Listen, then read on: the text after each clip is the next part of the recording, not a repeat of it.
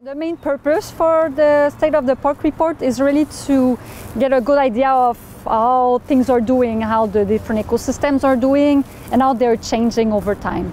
And that's um, it's for the park. There are different stressors or impacts that are happening on the park, such as recreational uses or climate change, pollution. So there are different factors like that that can uh, affect the ecosystems. So our goal is really to capture that and then hopefully help with uh, future management or stewardship work for the park. I'm sure lots of people remember back in 2006 there was a, a big windstorm that affected the trees. So there were about 10,000 trees that has fallen back then due to those windstorms. And it created blow-down areas, quite major areas. And uh, in the next couple years after that, there were um, lots of donations and, and sponsors that uh, gave money for planting and restoring those sites. So there were, I think it was 15,000 trees and shrubs that got planted. And so now, uh, over 10 years later, we're looking and looking um, using different uh, programs to look how the total tree cover has recovered.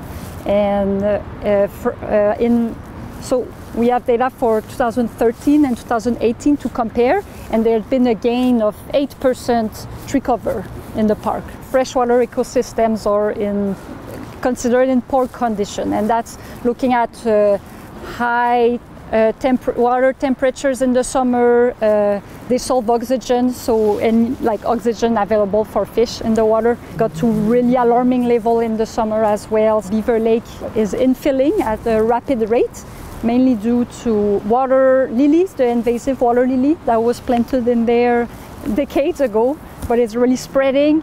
And water lilies have huge stem when they decompose and they just add and add to the water of Beaver Lake. So now Beaver Lake is really shallow and it's just is way too hot in, in the summer for, for some fish and amphibians to even survive in there.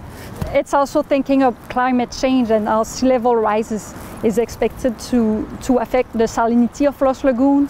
And so we follow a format that uh, Parks Canada uh, use for State of the Park report for national uh, parks. So we follow a similar uh, format for that. And so, um, yeah, it's, it's, it's, a long, a long-term project, and it's it will just get more robust over time. It's going to be on our website at stanleyparkecology.ca. We're releasing it on Wednesday because on Wednesday I'm going to be doing a presentation on it at 8 p.m. if people want to sign up. And uh, yeah, after that it's going to be on our website.